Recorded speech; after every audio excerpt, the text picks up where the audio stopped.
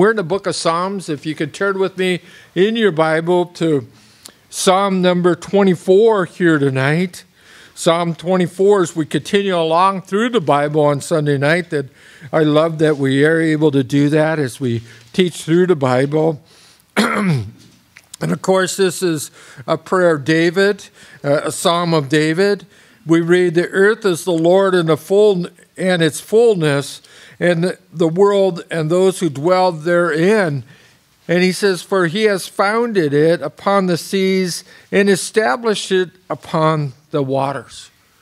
David starts off by saying, The earth is the Lord, and basically everything in it. Well, yes, it is, in the sense that he is the creator of heaven and earth. But the really the inhabitants of this planet, which would be mankind I'm referring to, is no longer the Lord's. If you go back to the Garden of Eden, when they were instructed, Adam and Eve, to tend to the garden and care for everything, well, they refused to do it right and they rebelled against God and they ended up going, you know, the way of Satan. And so, thus, well, the, to make a long story short, they handed over the title deed to the earth to Satan. And we're seeing the outcome of it today. The problems that we see around us isn't a God where, you know, with that old song we, we love singing, Larry and I were talking about how we love singing the hymns where it, that song says, This is my Father's world. And yeah, yeah, when I look up at the stars and I see the mountains and see the streams, I go, Yes, that's His hand. But to see the, the result of the unrest, the crime that's running across our country, this is not God's plan for, for us. God has a great plan uh, of, that's laid out for us in the future. He says, Who, who may ascend into the hill of the Lord? Who may stand in his holy place? He's asking us this question. Uh, and he, uh, he says, He who has a clean hands and a pure heart. He, say, he answers that question as those who have a, that pure heart or clean hands. If you turn with me over to the Gospel of Matthew, just for a moment over to Matthew chapter 6. I think Jesus helps us to understand with those, that question who could ascend to the hills of the Lord or who could who may be able to stand in his holy place. As Jesus, of course, is speaking to his disciples, which would include us here tonight, as he, he, he, opens up his mouth in verse 2 and he taught them saying blessed is the poor in spirit for theirs is the kingdom of heaven. Blessed are those who mourn for they shall be comforted. Blessed are the meek for they shall inherit the earth. Blessed are those who hunger and thirst after righteousness for they shall be filled. Blessed is the merciful for they shall attain mercy blessed is the pure of heart for why for they shall see God. So, as you go back into our Psalms, as Jesus says, it really comes down to our spiritual appetite that we have. Are we seeking to know the Lord? Are we seeking Him with all of our hearts? Do we have that desire to know Him? If that's the case, we will you know, see the Lord. We will see Him because we have that pure heart, which I like to look at as a that really that childlike faith that we go to the Lord just believing who He is. In fact, uh, it tells us later on in, in Matthew um, 18 4, he talks about that childlike faith. And, and of course, there in Matthew, I believe that's what Jesus is talking about having that heart that was touched of the Lord, that had that tenderness of heart. You know, when you go to look at the ministry of Jesus, and really the answer to this question, who may ascend in the hills of the Lord, he, he, you know, he's really addressed that in John chapter 3. As our good friend Nicodemus came with all his, you know, the the best that he could do, as far as being a Pharisee, as far as his righteousness and all that he could put up to Jesus. And it tells us in John chapter 3 that Nicodemus came out to Jesus at night. He was very curious at what was going on in his life. And, and it's almost like Jesus made an assessment of Nicodemus and know, knowing what he was all about. he says, Nicodemus, you need to do something. There's a problem that you have. You'll never ever have that relationship with God. You'll never ever be able to come into his presence like we're seeing with David saying here. Why is that? Because you're not be not born again. He says you must be born again. There isn't an option where our nature needs to become new like his, like a new child. And so David said, he says, Who may ascend into the hills of the Lord or may stand in his holy place? That's he's speaking about you.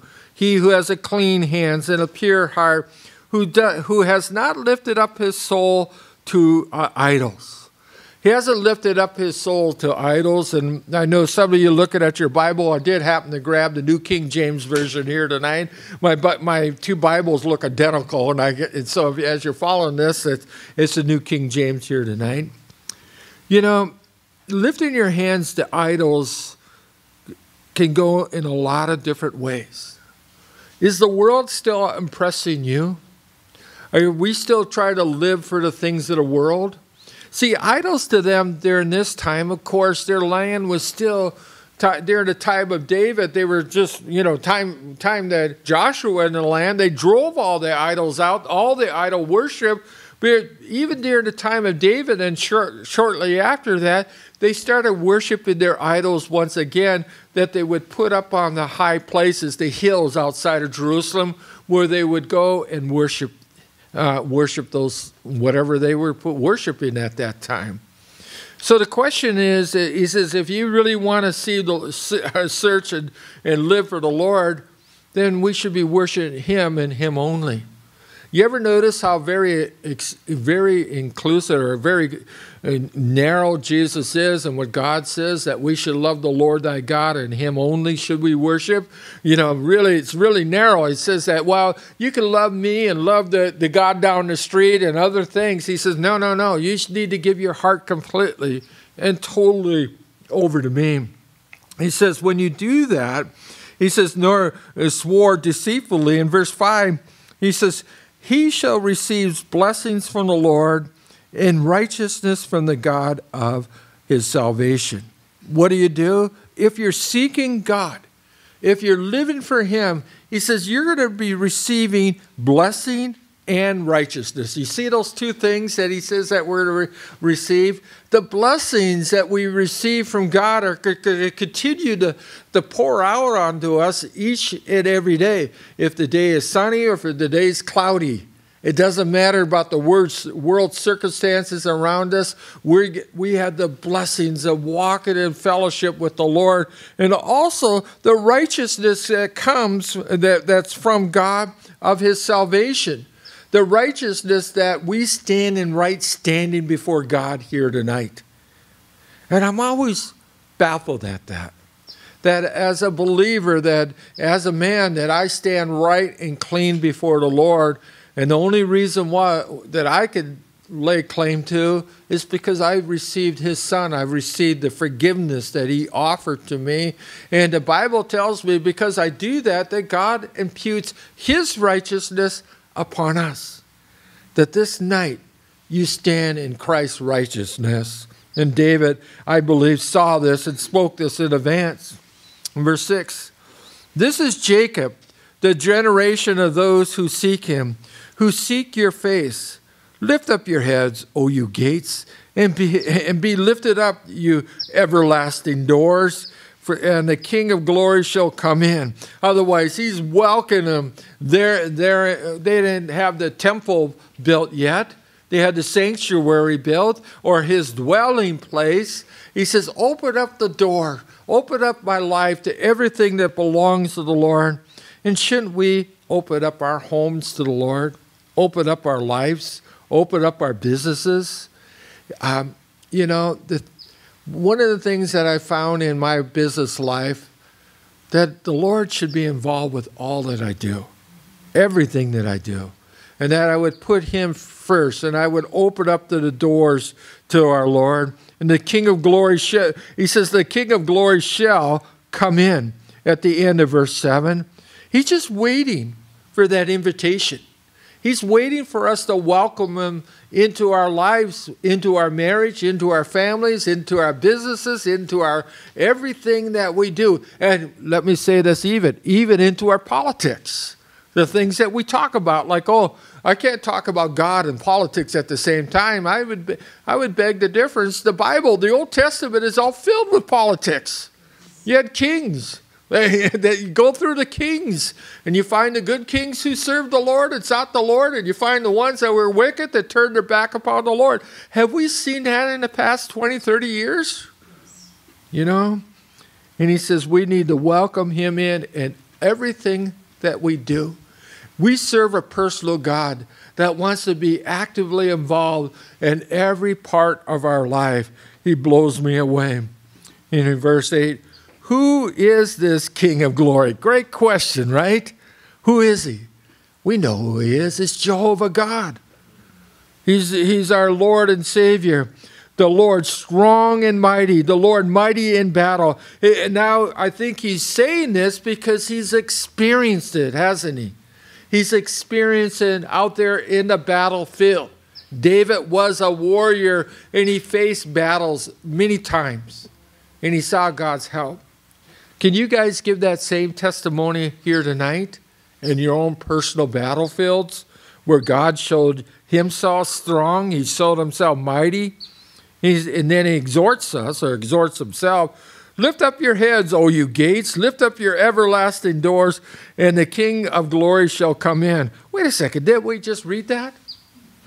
This is, a, again another repetition. Every time I read a repeti- uh, repetition in the Bible, I'm always careful to look at what he's trying to say to me. He's saying that for emphasis to us, that we would make sure. He says, and he says, he says to lift up your heads, O, o you gates, and lift up your everlasting door. Otherwise, we need to uh, open up the doors. He's not going to be the one that's going to pound that door open. We need to allow him in. And then in verse 10, he says, Who is, who is the King of gl- glory? And now he a- answered that question The Lord of hosts. He is the King of glory. He is the King. There's only one King, the King Jesus, that we should worship, that we would call upon. And now he's the chapter 25, he has a plead for, for his defense, for guidance, for pardon in his life. He says, To you, O Lord, I lift up my soul. And, O God, I trust in you. Let me not be ashamed. Let not my enemies triumph over me. Indeed, let no one who waits on you be ashamed. Let those be ashamed who deal treacherously without cause. One thing that we see about David is he directs his prayers to God. You know, it's not something that, you know, of course, we should even have to talk about here amongst us here on a Sunday night study. But how vitally, it's vital that we take our problems to the Lord. And he says, To you, O Lord, to you, Adonai, as he's calling him his Lord at this point, is David being king, recognizing the lordship of, the, of Jesus over his life. He recognized that he needs help. David, even as king, was still humble before God he, as he's crying for that, for the Lord's help. And in verse 3 it says, Indeed, let no one who waits on you be ashamed. There's a beauty in strength in waiting in the presence of the Lord. You know, I, I'm a guy like, you know, most guys I've ever met. We got normally one gear, and that's let's get it done gear, right? Let, let's just figure it out. If There's a problem. You give me a problem in front of me, I want to fix it. I want to get my gadgets out and get it done, and who cares about any instructions? I'm going to beat on it for a little bit first. But as I see here, what David has learned the beauty of waiting in God's presence. What does it tell us? That they that wait upon the Lord shall renew their strength. They should mount up like wings of eagle. They should run and not be weary. And there's a, a great strength in waiting in the presence of the Lord that our bodies, our minds, our hearts can be renewed for the battle that might be set before us. Would to God that we would wait in His presence and also to get the marching orders that God would give us before we go running out the door each and every day. That we would ask God to fill us, to strengthen us. Notice this beautiful prayer in verse 4. Show me your ways, O Lord. Teach me your paths. A humbled man, obviously with the stress around him that he was dealing with as king, with everybody coming against him.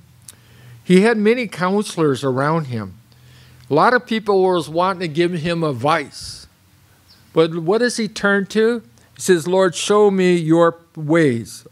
And he says, and teach me your paths. And, and there's a difference between just seeing the path or seeing the road.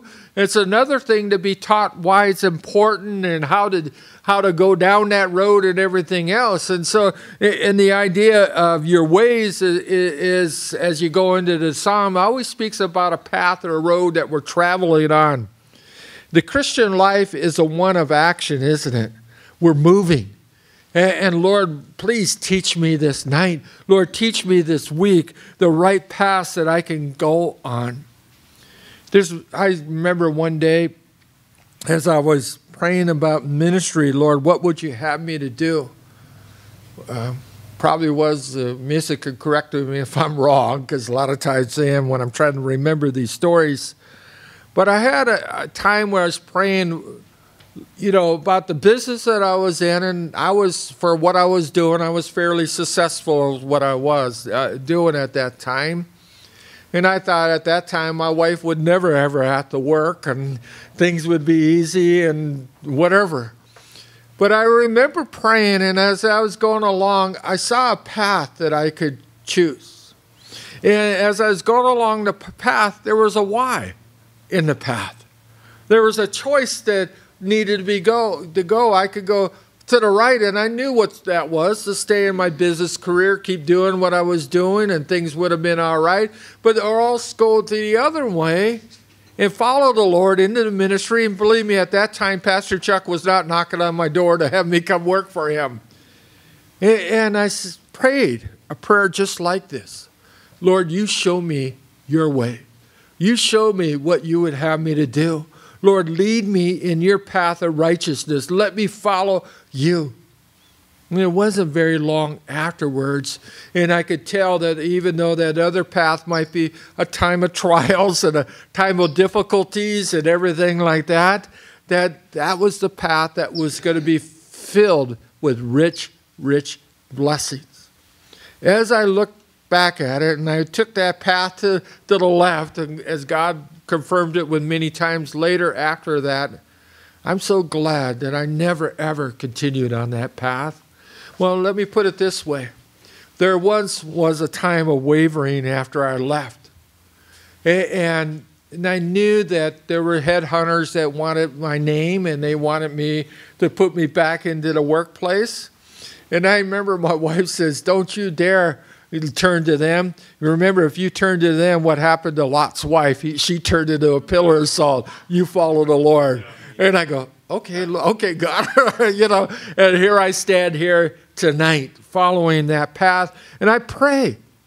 This isn't a past tense prayer. I think this is a very present tense that we should be continually to pray, Lord, what's the next step? Lord, what would you have me to do?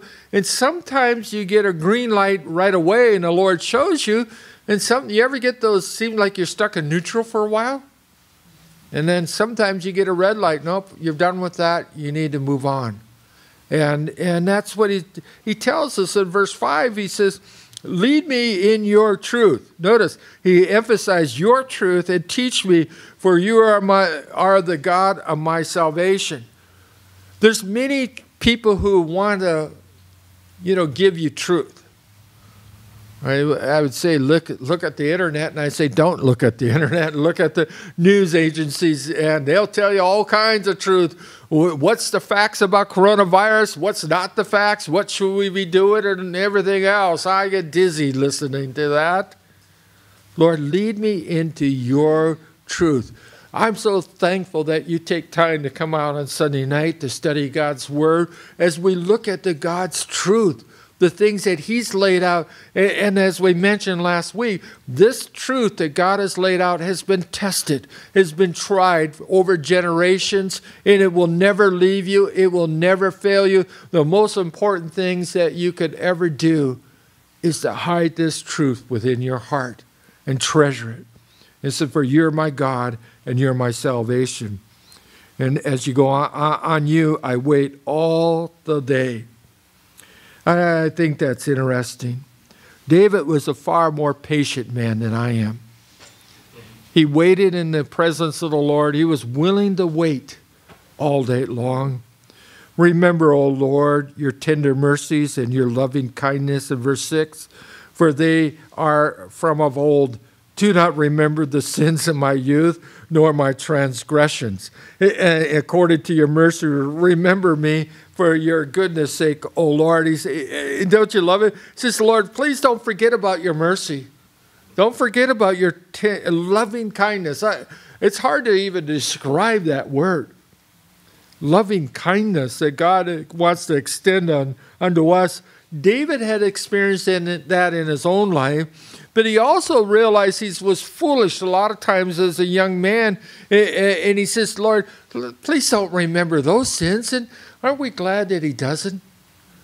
That we stand, as we mentioned earlier, stand forgiven before the Lord. Do not remember the sins of my youth, nor my transgression. According to your mercies, remember me. That's what he was standing upon, wasn't his own righteousness. The righteousness of man is just as mere filthy rags before God. He realized that. The best person I could be still falls short, for we've all have sinned and fallen short of the glory of God. He says, Remember me because of your mercy's sake, sake remember me, and for your goodness' sake, O Lord. Good and upright is the Lord. Therefore, he teaches sinners in their way. And that's a one when you see a description of God as I think it's always important to remember Good and upright is the Lord. His ways are true, they don't waver in any way, they're upright before Him. And then he says, the, the people that he teaches, notice verse 9. He says, The humble he guides, guides in their justice. The humble he teaches his ways.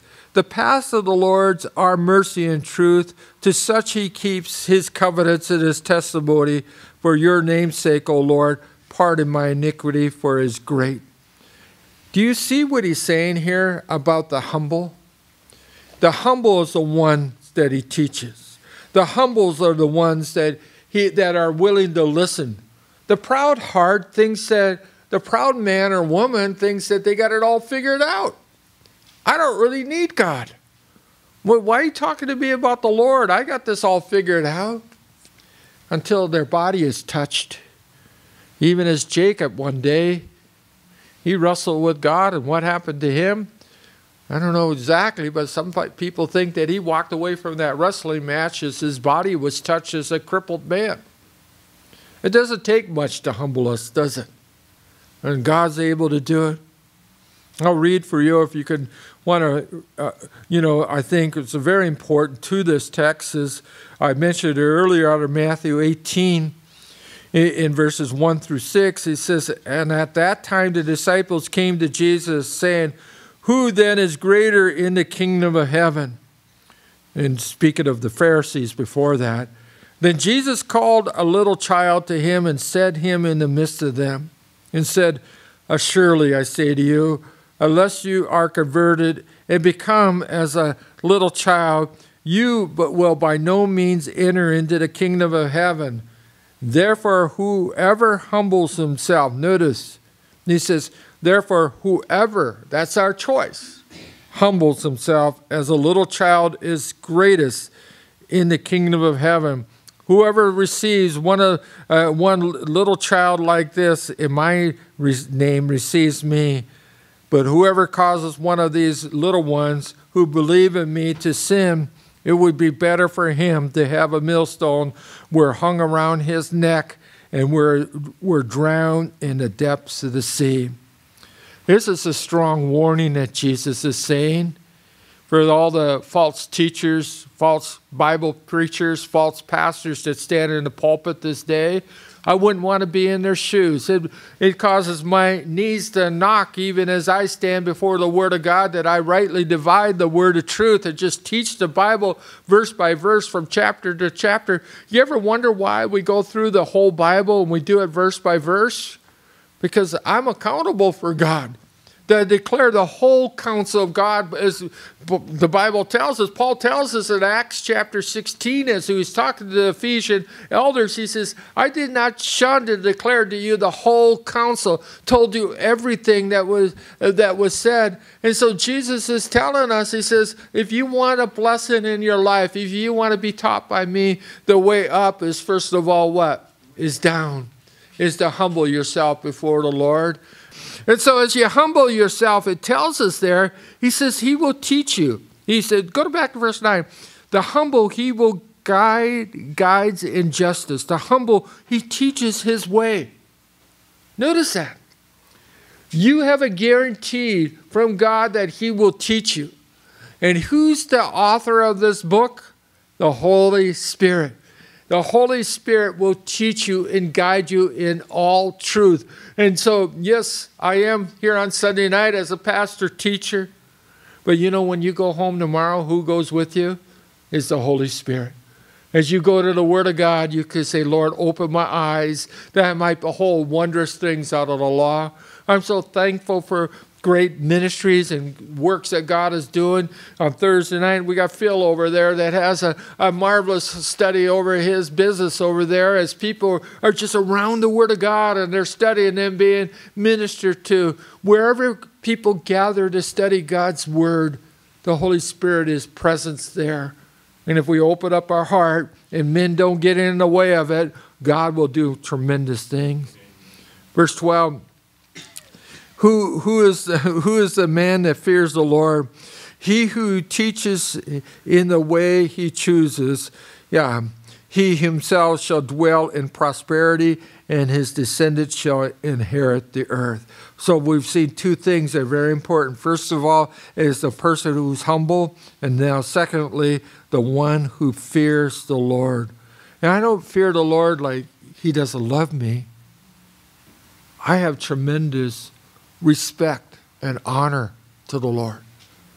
That God's word, God said what he meant, and he meant what he said. And so when I read God's word, I, I take this far above what anything that man has ever put out. Anything that man would put, I see this as more factual, more true than anything on the face of the earth.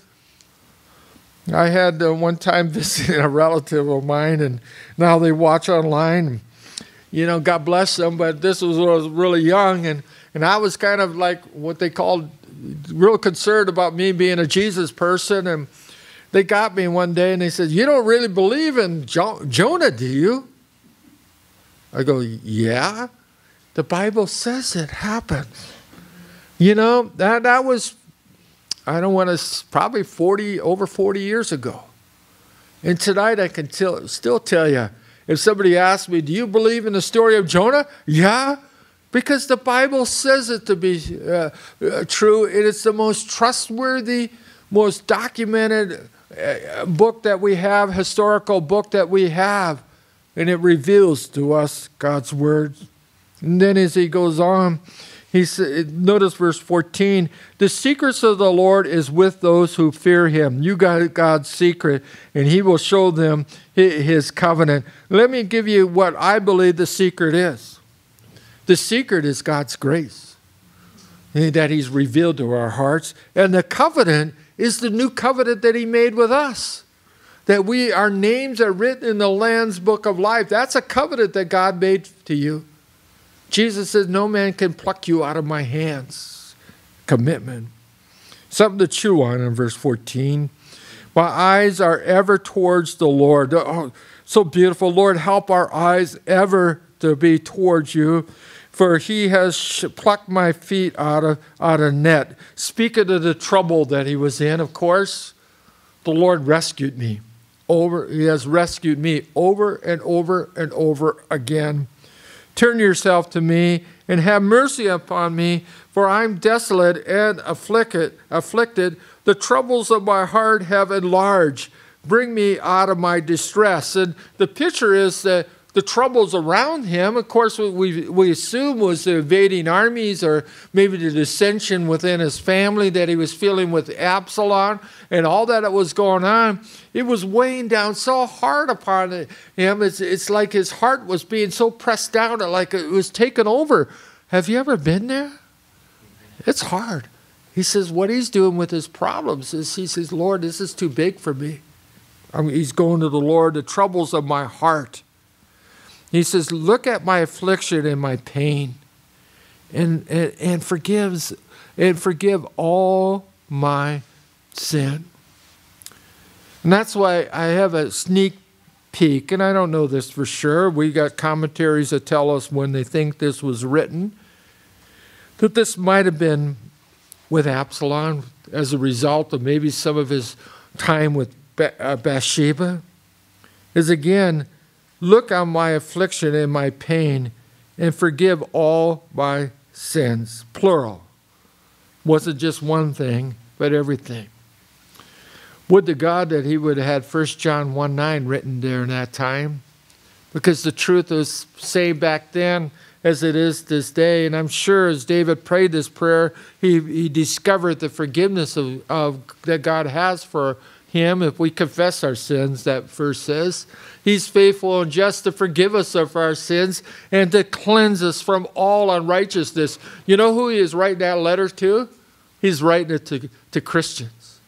If we confess our sins, plural, he says he's faithful to forgive us. He wants us to have fellowship with him, but the Bible tells us it's our sins is what separates us from God. And so if you blow it this week, if you get angered, if something happens, Take some time and ask God forgiveness. Just stop. Take, give yourself a time out. Say, Lord, we used to tell that sounds like I'm going back to when my kids were young. But that's something we need to do. To our Heavenly Father and say, Lord, please forgive my, all my sins. Consider my enemies, for they are many, and they hate me with a cruel hatred. Keep my soul and deliver me. Let me not be ashamed, for I put my trust in you. Do you hear? It's almost like he's got his rallying now. He said, Lord, I, I, I'm putting my trust in you. Let integrity and our righteous and uprightness preserve me, for I wait upon you. Again, something that's being repeated over and over in the psalm. I think that's an emphasis for us here tonight, is for us to wait in the presence of the Lord redeem Israel, God, out of all their troubles. And then he says, Vindicate me, O Lord, for I have walked in my integrity. I have also trusted in the Lord. So now, as you take a look at chapter 26, I mean, uh, Psalm 26, you start thinking that maybe this was written earlier in his life. You know, when you're feeling pretty good, you know, you stub to- your toes a few times in life, you stop saying that, don't you? how great you might be. But integrity is very important for us. He says, I've also trusted in the Lord and have not slipped. I think we need to seek to walk as honest people, honest in our, our attitude, the things we do before God and before each others. And then he asks God to examine himself. Examine me, O Lord, and prove me, or else test me. Try my mind and my heart. He's asking himself to go through trials. He's asking, this is, you know, for any of you guys who have any legal background, who've done anything, and this is kind of the argument he's having right now. He says, put me, put me there in, in, the, in the stand, per se, and cross examine me. Let me see what's going on in my life. And he says, and try my mind and my heart. He's dealing with both of it because a lot of times our heart, and what tells us our heart is deceitful, deceitfully wicked, and who should know that? And David's wanting to do things that are right. He says, Lord, please examine me, for your loving kindness is before my eyes, and I have walked in your truth. He's made a determination in his life to walk in God's truth. Have we made that determination? Do we seek to walk in the ways of God? I have not sat with idolaters, uh, uh, uh, uh mortals, nor I will I go up in with hypocrisy. I've hated the assemblies of evil doers, and I will not sit with the wicked. Good resolutions. He's making a choice not to get counsel from the ungodly. We saw that in Psalm 1, didn't we? And here he's almost repeating himself. He says, verse 5 I've hated the assemblies of evildoers, and I will not sit with the wicked. I will wash my hands in, uh, in innocence, so will I go about your altar, O Lord. He says, Because I'm not dabbling, I'm not compromising with the wicked. Comprom- compromising is one of the most tragic things that happen to a believer. Where some way or another they, they start off so strong with their hearts right and their integrity right, but some way, way or another they start compromising. David said he wasn't going to do that. He was resolved in his heart to do things right. Verse 7 that I may proclaim with the voice of thanksgiving and tell all your wondrous works. The Lord, I have loved the, the habitation of your house and the place where your glory dwells. He says, I'm going to go out because I'm doing things right. I want to declare to other people how good God is. It's a good message that we have. In a couple of weeks on Sunday morning, we'll be starting the Gospel of Mark. It's the good news, the beginning of the gospel. We have good news. David had good news. He wanted to tell people of the good news. In verse 9, nor uh, do not gather my soul with sinners, nor my life with bloodthirsty men, in whose hands is sinister schemes, whose right hand is full of bribes. But as for me, I will walk in my integrity. You know, we see that in Joseph's life, don't we? Earlier, a man that walked in his integrity. We see it in Daniel's life as we go forward. We see it in the life of Christ. We see it in Paul's life, how he lived a life that where he was walking right before the Lord. God, help us to walk in our integrity. Redeem me and be merciful of me. He never lost sight of God's mercy upon his life. And then he says, My, my stand in every place in the congregation, I will bless the Lord. Amen. Amen. He was so grateful. There's a lot for us to chew on here this week out of the Psalms. You know, as you look at these things, David was a man that was wanting to learn. He was a man that was wanting to grow and understand the things of the Lord. Why don't we go to the Lord in prayer and then Ray's going to come up and close us in a song. Father, thank you so much. Thank you that we are able to worship. Thank you that we can give thanks like David.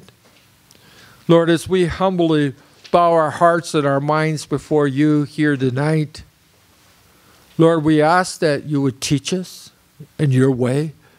Lord, we ask that you would lead us and guide us this week. Lord, as we also would ask that you would help us to wait in your presence. As we wait upon you, Lord, you would fill us afresh with your Holy Spirit. That we would be men and women that would be led by your Spirit. To, th- to do and accomplish the things that you give us to do this week. That you would put a spring into our steps, joy in our hearts to serve our great God and Savior. In Jesus' name, amen. Why don't we all stand?